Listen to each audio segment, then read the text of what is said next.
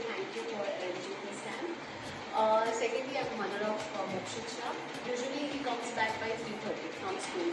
So I thought you know, he won't be able to attend this camp because he might get tired.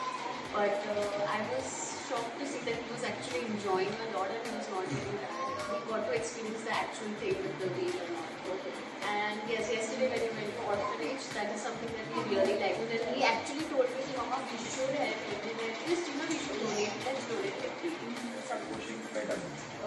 Daily अभी जब से वो सीखा है daily जब हैंड वॉश करता तब मेरे को बोले पापा देखो ऐसे हैंड वॉश करता हमको ऐसे सिखाया. और ब्रशिंग वगैरह। जैसे थोड़ा बहुत उसने बताया कि शादी ये सब मुझे बताया तो अच्छा लगा।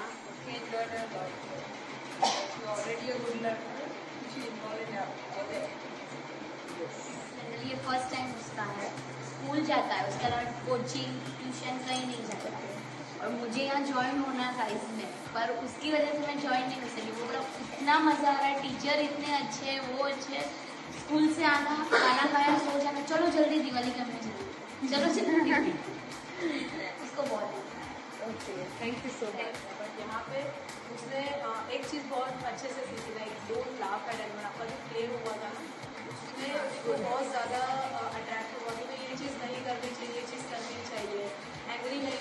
रोना नहीं है लाइक मेरे लिए ऐसा था कि she is too young for this but let's try मतलब मुझे लगा कि टायरिंग हो जाएगा टू क्लॉक टू कंटिन्यू करने पहुँचने उसके बाद अगेन टू आवर्स तो मुझे था कि it will be but let's try वाला सीन था मेरे लिए।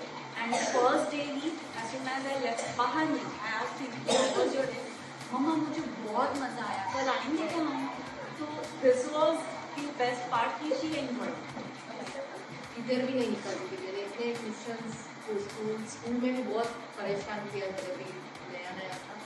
यहाँ पे फ़र्स्ट डे पे मैं रवीना को बोला, मैं इसलिए मतलब बेच रही हूँ, फिर होगा नहीं होगा। पहले ही दिन पे फ़र्स्ट डे पे मेरे को इतना मज़ा आया, इतना मज़ा आया। आप तो इसे मेरी मैम ऐसे सिखाती है हेयर करने का, ये करने का शेयरिंग कैरिंग हो यहाँ पे आपको मतलब वो इतना एंजॉय कर रही थी मतलब घर पे भी उतना ही खुश रहती मतलब से मतलब चार्ज जैसे मिल जाता है कि बैटरी चार्ज हो गई ऐसा उसका था मतलब कि नहीं आज ये करवा रहा है आज वो करवा रहा है। मतलब बहुत अच्छा था। अगर आपका दूसरा भी कोई कैंप अरेंज कर, करते हो तो मुश्किल का नाम फ़र्स्ट रहेगा। वो बोल रहा है उसको पूछा कि मुझे क्या किया वो तो नहीं मुझको बताता। मज़ा आया? बहुत बहुत बहुत बहुत मज़ा आया।